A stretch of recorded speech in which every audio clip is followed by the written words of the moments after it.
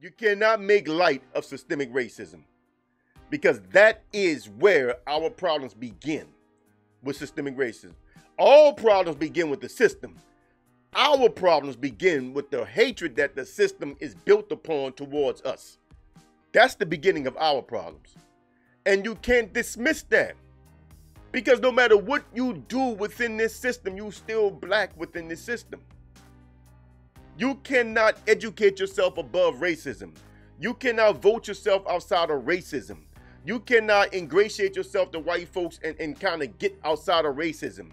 You cannot culturally whiten yourself up and become a, a, a, a, a honorary white person and think that racism still not going to affect you, man, because it don't work that way. This is a systemic thing.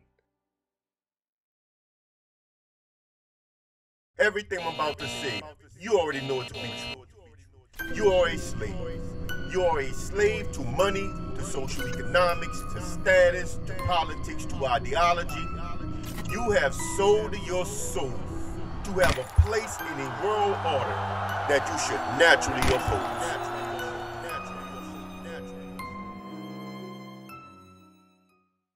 Whoa now, whoa now, whoa now. Welcome back to the Black Alpha and your boy, Brother Kush. I want to do a video, man, based on something um sister said, you know what I'm saying? She she she triggered a thought in my mind, you know, that I want to kind of expound on, you know. And um it, it's interesting, you know, that that I don't really think most people fully understand what is meant by system. And now we're not taking shots at She's a supporter. She triggers thoughts. Triggering thoughts that cause me to have to explain something is not a bad thing. I want y'all to trigger thoughts in my mind because if you don't trigger the thought, I won't think about it. I just don't think certain ways. So if you don't make me think about it, a lot of times I won't think about it. So I appreciate her triggering certain thoughts in my mind to get me talking, you know what I'm saying? But I want to talk today about what do I mean by system and systemic racism because I don't think we understand what systemic racism is and and and how how impactful it is on the lives of black people. But I'm gonna try my best to freestyle this one right now in this video. So let me get into it. Before I get started, like the video, share the video, subscribe to the channel, hit the bell icon to receive notifications when I drop more videos. If you don't hit the bell icon, YouTube will not notify you when I drop videos you will have to come back to the channel physically to see if I drop the video. Uh, if you want to donate to the channel, you have Cash App, dollar sign, the Black Alpha. You have Venmo at the Black Alpha. And you have PayPal, realblackalpha at gmail.com. Yes, my Patreon is coming. I keep saying it. I know y'all getting tired of me saying this nigga always say it. I do real life be catching me, you know what I'm saying? I do have real life, you know what I'm saying? I have family stuff come up, you know what I'm saying? You know how I go. I it, it don't matter but I'm working on it and it's going to be ready. Actually, the video's already. I'm just not sure if I want to put the videos out that's ready. That's that that's really another holdup. I have content there, but I'm just not sure if y'all can really feel that content. That's kind of like what inspired the video I posted before this one, just talking about um the, the role of the elder that you come to the elder for different information right that's when that's when inspired that video you know? It's just i'm not sure if y'all ready for the content you know? I'm just not sure. But anyway let's get into this here. I don't know if y'all seen this um thing i did you know with this graphic right here right? It was that graphic. And i, I wrote some stuff talking about the whole thing with the walmarts you know, the looting of the Walmart and stuff. But I didn't really talk too much about that because because see, the problem is not the looting of the Walmart. The problem is the fact that brothers are put in a situation where they feel they have to do something. And and that's the problem because of the way the system is that we live under. This system doesn't just force the hands of black people. Crime is committed across the board. For some reason, though, we only focus on the crimes committed by black people. We make it unique, and only we do this, us and the system. See, the system completely ignores all these Asian gangs. The system completely, hold on, put the frame back up while I rant. I'm gonna, come back to this. The system completely ignores all the Asian gangs, all the white biker gangs that be getting in shootouts and, and knife fights and, and, all types of rest stops, be beating each other to death shooting at each other, stabbing each other. The system ignores all of this and they only focus on black people. So you think that we the only ones that commit crime, that we the only ones loot stores, that we the only one do things. We're not. Crime is across the board. Every group in America has their criminal elements because every group in America have people within their group that will try something when their back is against the wall.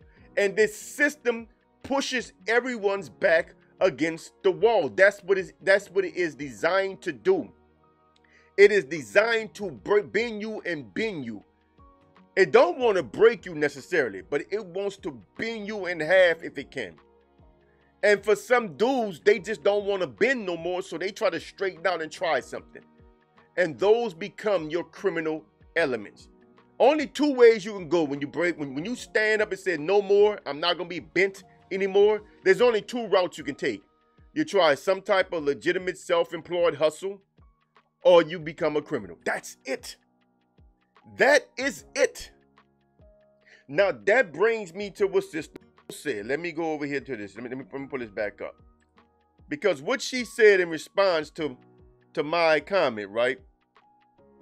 She said, I understand and agree with your sentiment wholeheartedly while also understanding that regardless of the systemic racism, some of the Pookies can choose to do something else.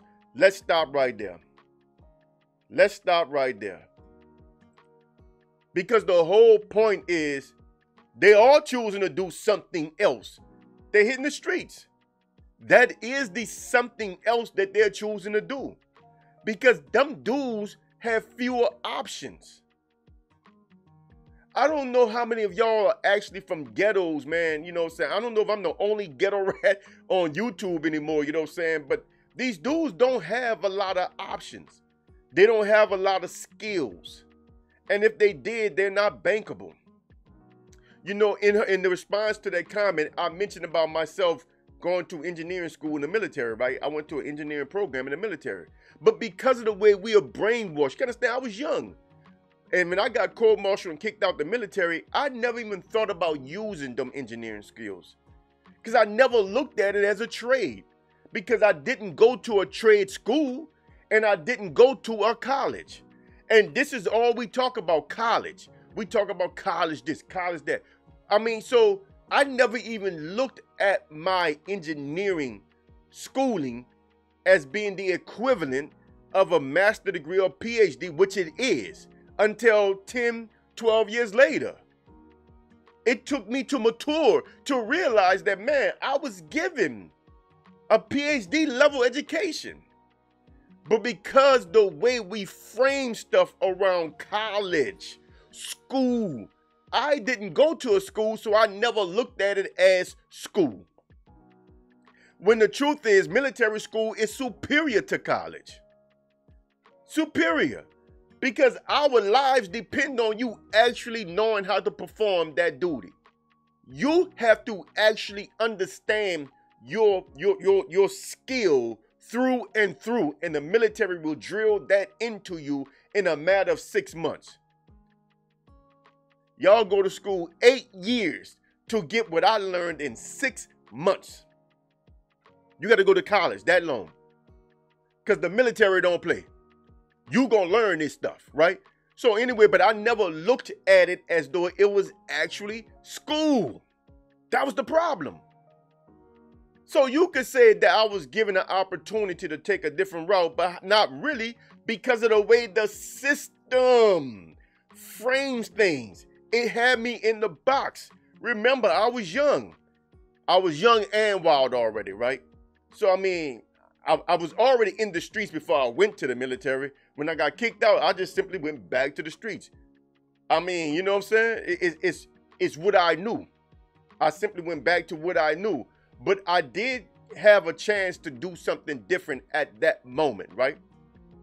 But who knows? Okay, let's look at that. Let's, let's look at another way.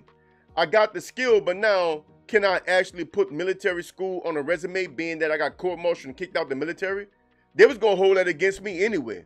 Now I know that could be a cop out. I could be saying this, and you could say, "Well, you don't know if you didn't try." I don't know, But we do know of situations where dudes have come out with skills that they can't bank on because of the way they left the military. If you're not, if you don't leave with an honorable discharge, a lot of times you can't use the skill that you got in there. It's just how the system is. And that's what we're talking about. We're talking about the system. So when the sisters say that the Pookie could have did something else, they did do something else. They stealing clothes. They running up up, uh, up in stores. Flash mob, flash mob snatching grab um, sessions, right? Snatching a whole bunch of stuff, running out so they can go back to wherever and sell the stuff. You know, they stealing all kinds of shit. Man, do you know now at the Walmart where I'm at, the socks and shit is under lock and key. You can't you can't even go in and just grab socks no more. You know what I'm saying? I mean, condoms under lock. I mean, they they stealing the things that they can actually sell in the streets. That is there something. Some dudes sell drugs. Some dudes get off into Ponzi schemes. They get off into all these multi-level marketing schemes. These are all doing something. But the truth of the matter is, the problem is that you have to try to do something. Suppose you don't want to do nothing in life. Suppose you just want to live your life like the rest of the creatures on our planet do, off the land. We don't have that option anymore as human beings, and the option is getting less and less uh, uh, available as time go on. We are going deeper and deeper into this system every passing generation, deeper and deeper, to the point where you you won't be able to turn around and walk out of it. What I'm trying to tell y'all right now is that we need to get out of this system, right? We need to get out. Let me read the last piece of this here. She said some of them have been afforded the opportunity to finish school School is not an answer. Learn a trade, etc. Trades are the answer. Now she's right about that. She's 100% right about it. A trade is a good thing to have within the system. A very good thing, right? But you know, you better be be prepared as a black man to use your trade in, in a self-employed manner. And good luck on that too, man. Look, it's just hard on us. The economics of being black is hard. It's just hard it's just not the same. You know, I try to explain to people a lot of times that there's a that there's a white American experience, or shall I say there's an American experience, and then there's a black American experience. It's not the same. The America that everybody else see and enjoy and all this stuff is not the America that we see. First of all, we are the only people that have just as much opposition coming from within as we do coming from without, from the outside, shall I say, coming from the outside. That's the problem. We're the only people that have to suffer this. We have just as many enemies and opposing factions within our so called community as we do outside of the community. So not only do we have the system outside, we have all the cheerleaders of the system outside. We also have cheerleaders of the system on the inside. Nobody else experienced that. Nobody else experienced that. You know, as bad as, you know, look, I did time. Damn penitentiaries full of Mexicans too. Full of white boys. In fact, one of the prisons I was at, in fact, all the prisons I was at were slightly majority white male, right? I mean, I was in men's prison naturally.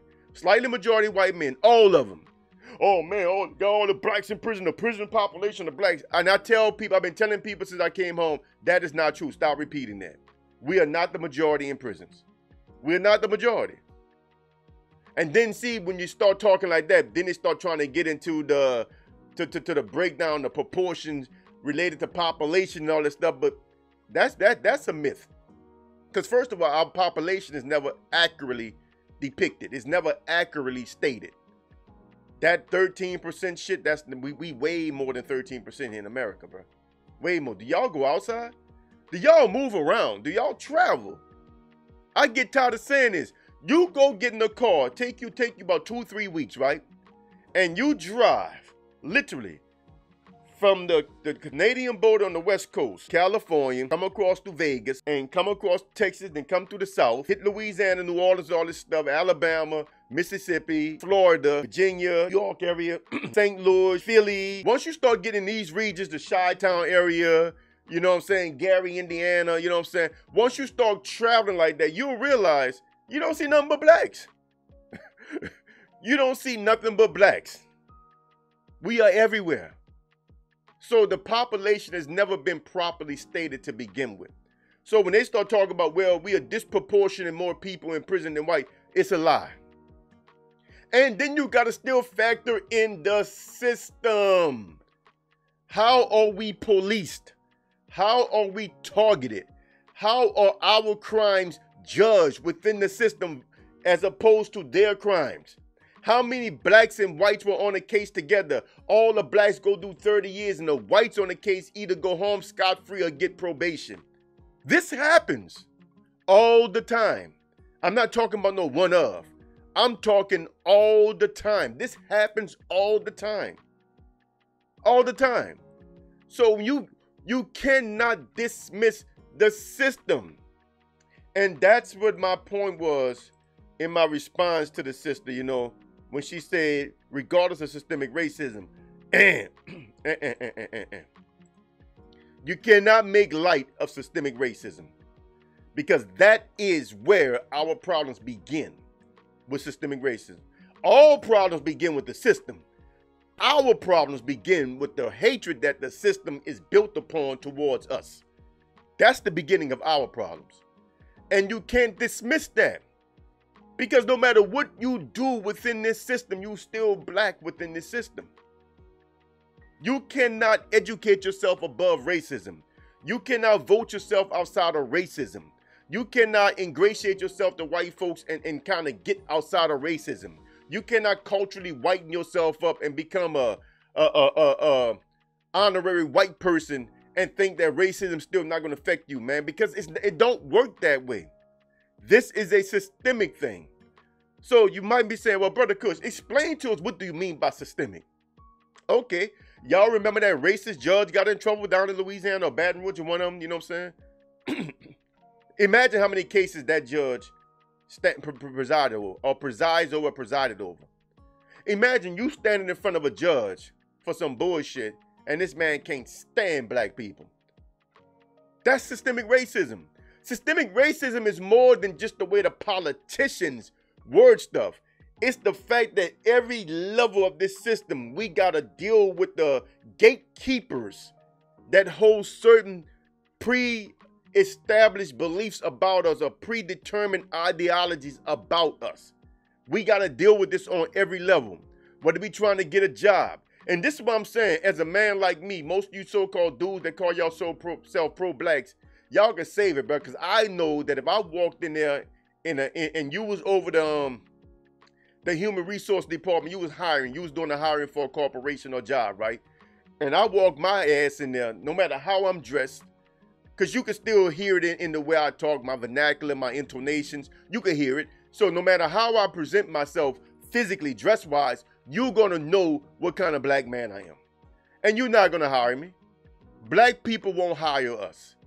So when you say, sister, that they could do something else, what can they do when nobody will give these young brothers a chance? We throw them under the bus every chance we get. We act like they should all be lined up and shot. When they are not the problem, they are only responding to a problem. Oh, y'all ain't hear me. Y'all ain't hear me. They are responding to the problem. They're not the problem. They're not the causes of anything. They are the effects of something. They were born in situations and conditions that they have no control over. And it's easy to just sit there and say that they can do something else when there's really nothing else that they know they can do. Who's going to give them a chance to do something else? Who's going to give them the opportunity to change? Who's going to even talk to them and invest in these brothers? Because them dudes just trying to survive. First of all, nobody wants to work all day. And this is the first thing we got to stop stop lying to ourselves about. We want to call people who don't want to work lazy. God damn it, nobody wants to work all day. Do you not see how frustrated people are out there in that traffic, that city traffic, trying to commute back and forth to work, blowing their horns at the slightest infractions? I mean, if you're not sitting at the stoplight like you in the Indy 500 waiting to pop the clutch and go soon as the light turn green, I mean, the light turned green and you count to one second, somebody blowing their horn, ah, ah, ah, flipping the bird at you, bitch, draw your cut. You know what I'm saying? I mean, people are mad. People are angry because of this system. Nobody wants to participate in this system like this. Y'all buy into the system in the name of being better than others. See, you know you gotta do it. First of all, you know you have to do it. And then you pretend like you want to do it because now you want to pretend like it makes you better than the people, the, the low class people. Now, all this rant is not about. Let me stop there. I know I'm kind of ranting on and on, but this is not directed at her. Her words trigger the thoughts, but this is not directed at her. I don't want you lame ass dudes think I'm attacking a woman. Start start start subscribing to my channel thinking I'm red pill. You know, oh he roasting that chick. No, I'm not roasting that chick. You know what I'm saying? That is my sister. I am not roasting her. She said something that made me think about this response. That's all. That's all. Her thoughts are pervasive. They out there. You know what I'm saying? They they are they are common, more common. So I get to address a common thought because she triggered it, and we got to give her applause. We're not roasting the sister. We are talking about what she said in a general sense. But let me get back to that. There's nothing else they can do because nobody's going to invest in them and help them. Nobody's going to take the time out to talk to them. Nobody's going to try to reach them because they don't really want to be a part of the system. They don't want to work like we work. So you got a non-starter right there. They just don't want to do it. They don't want to get up early in the morning, have to get dressed and put on clothes, you know, and drive an hour, you know I'm saying, to a job, sit on that job all damn day, but somebody threaten to fire them all damn day, either in words or in tone, in passive aggressive tone. They don't want to go through that. They got to drive back home. They don't have enough time for themselves to even do nothing to enjoy life. That life becomes just work. This is why the self deletion rates are so high right now because the young generation are tired of seeing life as that this is it. In fact, my wife told me that um, the place where she works, she manages right where she works. She told me that so many young people that come through, they don't last long, but some of them come through and they be so depressed, like, is this it? And they talk to like, you know, is this it? Is this how life is? I mean, is, is is this all we got to look forward to? Coming to work all day, every day, long hours? I mean, is this it until we damn the dead? Is this it? Yes, this is it. And that's the problem. Anyone with common sense don't want to live the way we live. And Pookie and Ray Ray just have the God-given inclinations, right? They're tapped into their natural instincts so much so that they know that this is not a way that they want to live. So they are willing to try something else. Because that's what made me go on the streets. This is not a way I want to live. Working all damn day. Good luckily for me, I never had to work like that. You know what I'm saying? My wife doesn't really work like that because we we do make money other ways. You know what I'm saying? But she does have a job. You know what I'm saying? And I do have a job also. But my my work is inside, her work is outside, right? You know what I'm saying? Out the house. But the point is, you know, if I had to get up and commute all damn day, I don't know if I can do it. If I had to work like most of y'all work, I just I can't really I honestly I don't think I can do it. At my age, I've never done it. I damn sure can't think that I would start doing it now. I've never had to do it. I've owned my own businesses so long. Oh, but you work when you're self-employed. Now that's a topic for another day. But Pookie and Ray Ray would do that. If you give them their own business, they'll work all day on their own business. They'll put long hours in on their own. But they're not gonna put long hours in to go get verbally abused at no job. They're not gonna do it and get paid pennies. They're not gonna do it. They're not gonna do it. So when I talk about the system, as I was explaining about the judge, as I was explaining about the gatekeepers to jobs, the gatekeepers to opportunity, the way the banking system is. It's all against us. The educational system. They lie about everything concerning black people. Everything. I get tired of telling y'all we are indigenous Americans and West Indians. We are in our actual indigenous homeland. They lie about everything concerning us. And again, the main problem that I see with us is that we got to fight ourselves. So the first thing we need to do really is clean our own house. That's why I want to create a separate uh, black community because the first thing we got to do is clean up our own house. We can't fight with each other like this because our biggest t- take for instance, I just said we indigenous Americans. Do you know who our greatest opposition to that is? Black folks. White folks don't argue that. I tell white people all the time about my Chickasaw, Choctaw, and, and um, ancestry. Them people don't question it. They, they don't even care. They're like, oh, okay. Cause, Cause deep down they all know they ain't from here. and and deep down, nobody really believes the slave story to that degree. Do they believe that they may have brought some people over here under certain type of circumstances or whatnot? Yeah, I think everybody kind of believe that happened, right? Including niggas like me, right? Who know better, who knows that we not from Africa. I could I could see them bringing in indentured servants from other places, right? And some of them being black. I could see that. But do anybody actually believe they stacked people up six, seven, eight high on a damn ship that came across a damn ocean? No. Nobody believes that story. Nobody believes that story. Not in your heart of hearts. You want to believe it because this is what the educational system beat into us. So we want to believe it based on that. But outside of that, it doesn't jive with God given common sense. So you have a problem. Your natural instincts tell you, your God-given common sense tell you that no, that don't sound right. That's impossible. It's impossible for this stuff to happen like that. And looking at how physically strong we are, how aggressive we are, how in the hell they gonna be able to do that? Do you realize that it would take six, seven overseers to contain one black man? Anything less than five white boys, we gonna beat the hell out of them by ourselves. I've been in fights with multiple white boys and came out standing. In fact, in prison, I jumped on three white boys and walked away with all them laying on the ground by myself. Told my boys, I got this. The dudes I was with, they was like, Kush, you need me back? Nah, I, I got this, man. I got this, bro. This lightweight. You know what I'm saying? It's lightweight. You gonna, you gonna fight all three of them? I think I'm a night ward nigga. You know what I'm saying? I fight three black dudes. I get beat up. but I'm gonna fight. I'll fight three black dudes. You know what I'm saying? I ain't gonna get beat up by them. I'm gonna fight all three of them and knock them out. And that's what I did. I fought all three of them and knocked them out. But the point is, there is no way they can do that to us, man. Not the way they just, it wouldn't work. It couldn't happen. We are just too strong. We are too aggressive. They couldn't do that to us.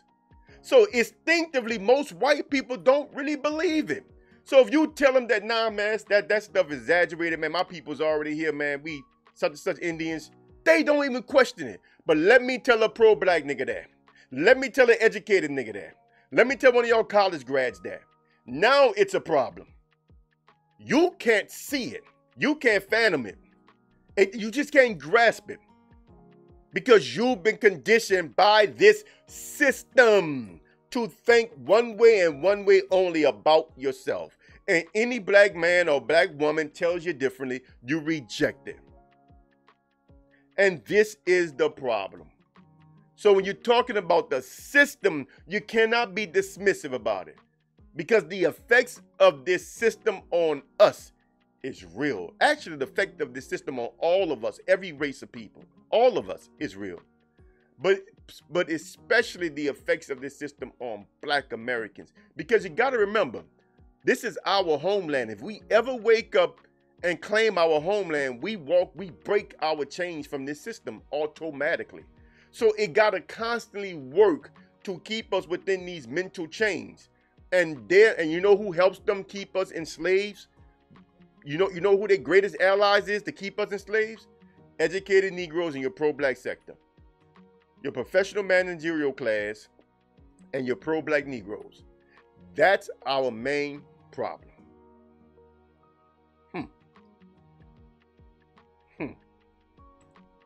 Hey, bro, I just cooked on that. Sister, thank you so much. Uh, for that comment. You know what I'm saying? You always make me think, you know what I'm saying? I'm gonna start doing more responses to um comments because I get some good comments. You know, some not everybody agree, but you know, again, I'm my path has been different from a lot of y'all. I don't really expect most of y'all to understand what I say or why I say it. But just know this here. I don't pull nothing out of my ass. It's, it's not my style.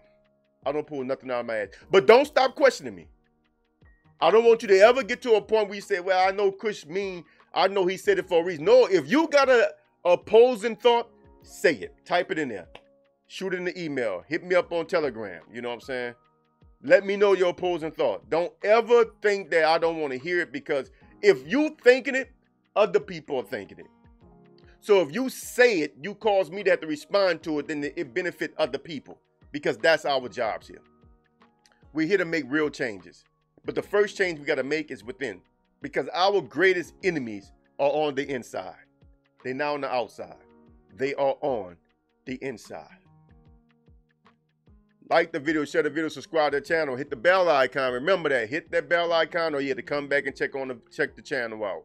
If you want to support the channel, you know what I'm saying? I told you Cash App, dollar sign the Black Alpha, Venmo at the Black Alpha, PayPal at Real Black Alpha at Gmail.